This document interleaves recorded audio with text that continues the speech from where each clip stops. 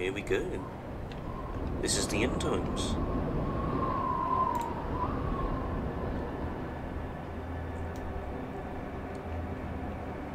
Wow. We've waited a long time for this, and we finally got it. Oh, oh. Uh, is Lumber okay? Hello everyone, welcome to how to get the end times axe in Lumber Tycoon 2. Now, first thing is it has to be the end times. So in order for this to work, this guy, this skull on Wood R Us needs to be there. It um, if this if the skull isn't there and it just says Wood R Us, then it won't work. But this is how to get the end times axe when it's the end times event. So that's when the skull is at Wood R Us, like I said, and there's um, things missing from the land store, from the sign. Um, so yeah, once my base loads in, I will then teach you. Oh, looks like it is now, so I don't need to skip it. That's good. Alright, the first thing is what you want to do is uh, probably turn down my volume so you can hear me. The first thing you want to do is drive to uh, Bob. Actually, no. Depending on what time of day it is, you want to go and go to fancy furnishings. Now this is where you're going to go and get the light bulb and that is going to be one of the things that's going to get you the end times axe. So let's go.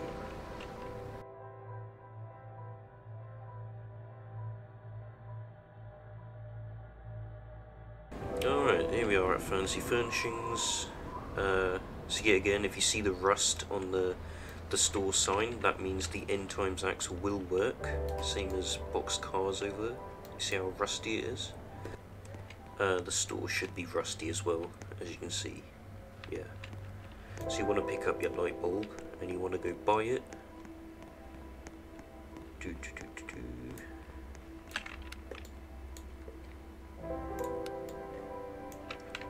Alright.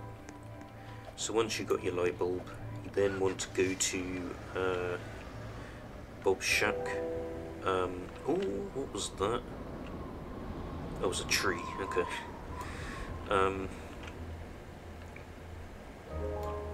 so yeah, if Fancy Furnishings is closed, then it's recommended to just come to Bob's Shack and then go to Fancy Furnishings. So here, you want to pick up the can of worms, and you want to buy it. Ah, and you also want to get some uh, TNT also, so I'll pick up a few of these as well.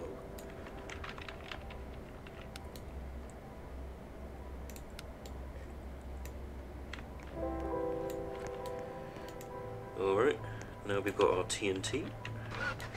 We now need to go to Wood R Us and pick up the sandbag, so I guess I'll see you there.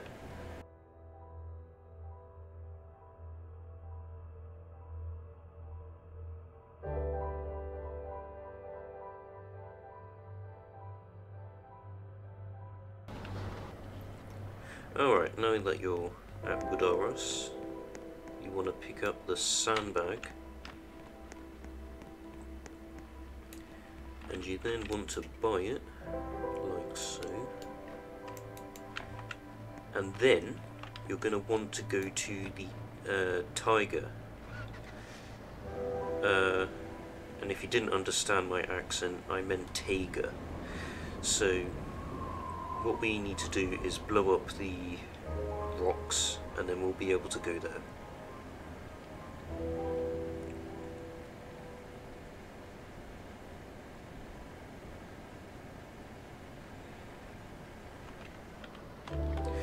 Okay, so you want to place your TNT probably about around here.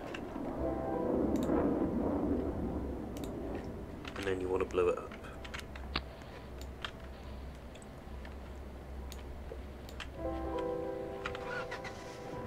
There we go. Alright. And now, you want to follow the edge of the Taiga here.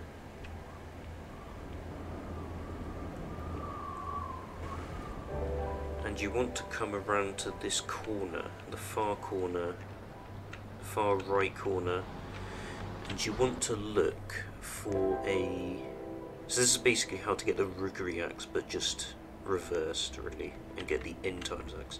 So here's what you want to look for. You want to look for the eagle, and this is the uh, the den. I think it's. I, I can't remember. I think it's called the den though.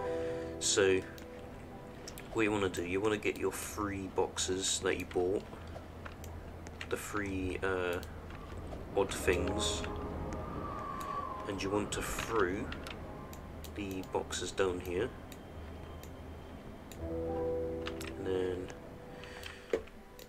them on down here and then you want to open them